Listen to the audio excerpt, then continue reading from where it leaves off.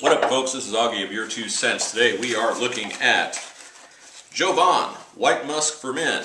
And it says here in the back of the box, uh, all the power, but not overpowering. A clean, long-lasting scent that lets you be you. Subtle, easygoing, unmistakably male, comfortable, confident, and convincing. Feel the power. Well, I am feeling the power in a second here. Uh, I like this one. I like it. One little caveat, uh, but let me go ahead and get it on first. Uh, I have a few things to do today, uh, and like they said, it's fairly subtle, but it does seem to last. So we'll give one there. We'll give one there. Excuse me for my undressed nature. Give one there. Give another one because there we go. And another one there. And another one there, there, there. Okay, so the good old white musk, it's nice. Uh, I wore it yesterday, wore this shirt. Uh, it seemed to hold on to the cloth a little well, uh, a little well, pretty well.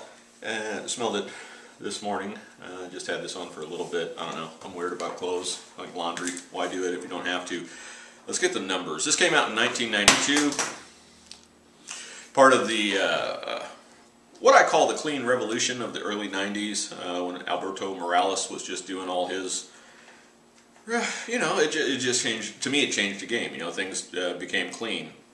Uh, and I guess this was part of it probably on the lower end of the price spectrum.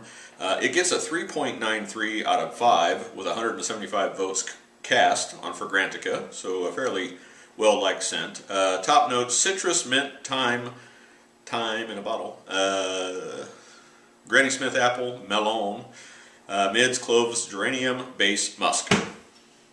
Well, to me, I get the citrus, I get the mint, no apple, granny or otherwise, maybe something herbal. It's a little soapy-ish, but I wouldn't say soap. Yeah. The mint is nice. I mean, it, it kind of mends, melds well uh, into this and kind of brightens you up a little bit.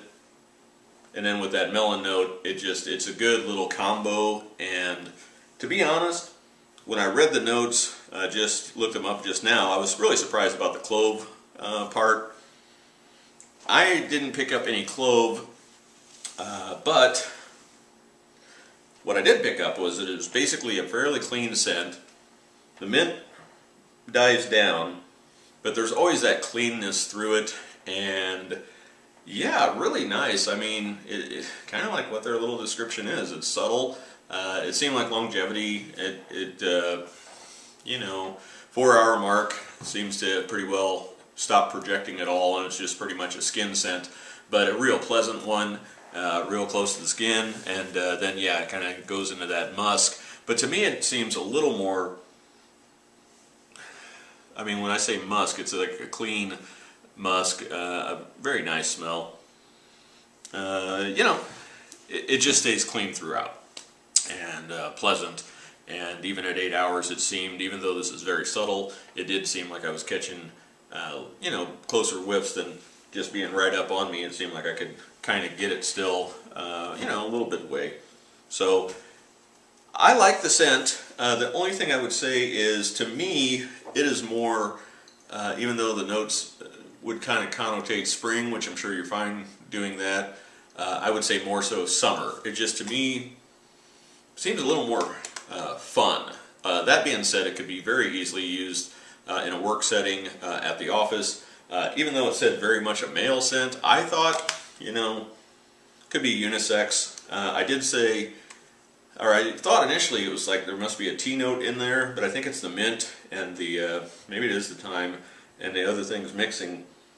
But it's just, like I say, very clean along those lines. Uh, according to Fragrantica 2, there's only like six people, but five or six people. But they said it was like Tom Ford Musk Pure, so I don't know if you like that scent or know it. I never even heard of it, to be honest. And uh, uh, But if you're really hooked on that, uh, you might want to give this a try and save yourself some money if you were dousing yourself uh, daily. Uh, it, and it is kind of a douser. I was thinking this more too about the Jovan fragrances. I did look at some pretty heavy hitters with the uh, Intense Oud and the Secret Amber.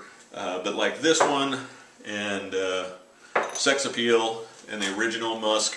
Uh, yeah, I, I don't know. I missed the body spray thing altogether, but uh, I don't know how folks sprayed that stuff on. But this seems like to be the missing link. You can kind of do a bottle of this and then just maybe use it a little more excessively, or if it starts dying down, put a little more on, and uh, there you are, freshness in, in, this case. But yeah, with the Secret Amber and the Intense Oud, that one seems, I don't know, I don't know if I'd spray a lot of those because they are pretty uh, heavy duty. So, I hope this helps. Uh, you know, it's a very reasonable price. It does seem more accessible as far as at, uh, you know, your big box uh, department stores. Uh, does seem to be on the shelf. Uh, and yeah, I, I, think it was less than, once again, $15. So I would say this one, yeah, it's, it's really uh, nothing groundbreaking, but really does capture the essence of clean. So uh, I would probably wear it more in summer, and maybe it performs a little bit better then too with the heat.